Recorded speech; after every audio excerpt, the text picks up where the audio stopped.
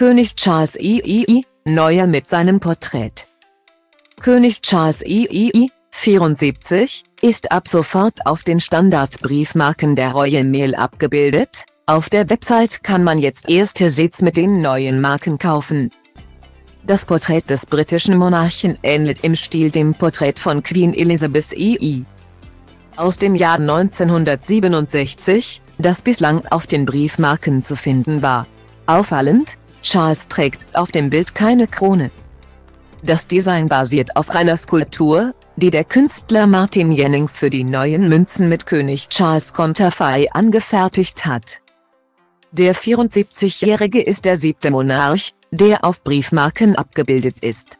Die erste war Königin Victoria im Jahr 1840. Nach Angaben der Royal Mail wird es noch eine Weile dauern, bis die neuen Briefmarken mit dem Konterfei von König Charles tagtäglich im Umlauf sein werden. Denn, es gibt noch einen großen Vorrat an Briefmarken mit dem Bild von Queen Elizabeth II, die erst aufgebraucht werden sollen. Eine Sprecherin der Royal Mail, sowohl Postfilialen als auch Händler werden weiterhin die vorhandenen Briefmarken mit dem Porträt der Queen verkaufen. Und erst danach mit den neuen Briefmarken beliefert. Auf diese Art können sowohl Auswirkungen auf die Umwelt als auch finanzielle Auswirkungen des Königswechsels minimiert werden. Anführungszeichen. Die neuen Briefmarken mit Charles Konterfei wurden übrigens zeitgleich mit einer Preiserhöhung eingeführt, eine First-Class-Briefmarke kostet in Großbritannien ab sofort 1.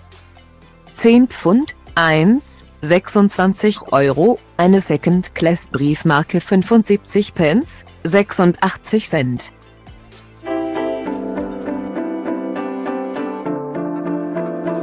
Și visul meu nu are limite no. Zboară peste tot, gândește limpede Mă drumă după cum îmi pun în minte toate gândurile. Să fac totul ca la carte să rup rândurile. Că poate azi nu, dar mâine sigur nu-i la fel. Trage de mine caracterul meu de fier.